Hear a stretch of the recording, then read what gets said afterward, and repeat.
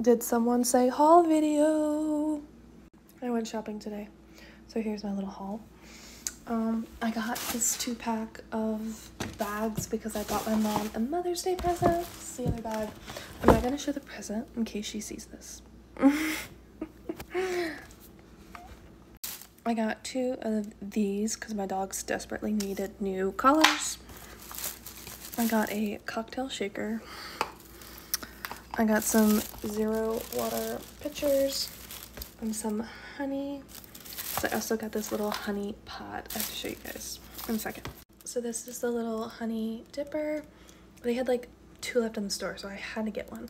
It's so cute and it's got the little wooden spoon. I did see this at Dirt Cheap the other day when I went there, but they didn't have the little dipper thing and I feel like that kind of defeats the whole purpose of getting it because how are you supposed to get the honey out?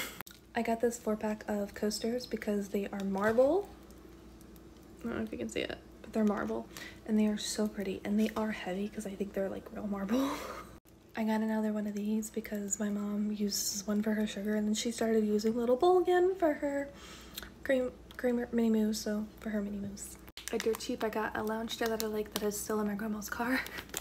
and I got a pool float because it was like a dollar. From Sephora, I got my birthday gift, which I got this little Kosas set. I wanted the, like, something else, but it wasn't available. And then I got the Rare Beauty mascara because I do like it. Um, I don't need a new mascara, but I love a new mascara. I like this one better. And then Ulta Goods. The foundation I currently use is too dark for me, so I mix it with the pigment. So I got a foundation that actually looks like my shade. Uh, I got my birthday gift from Ulta, which is this Ouai hairspray.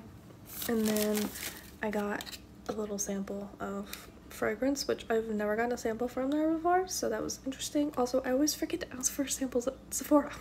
I literally talked about taco holders last week with my dad, and I was like, we of need these for like when we make tacos, and so I got some because they were $3 for three. I use the Shea Moisture shampoo conditioner, and I like to buy the big bottles if I can find them, and I found the shampoo, which I am running low on my shampoo, so it was nice because this is the same set as my conditioner that I have because I got the big conditioner, so I was really happy to find this. I saw someone on TikTok with a disco ball and the way that when the reflect light reflects on it, how it reflects. So I got a disco ball. And this is gonna be really fun in my room when the light shines through, like open up my curtains. It's gonna be really cool. And then finally, I got this wood shelf to put above my coffee bar. That's the haul. Um, yeah.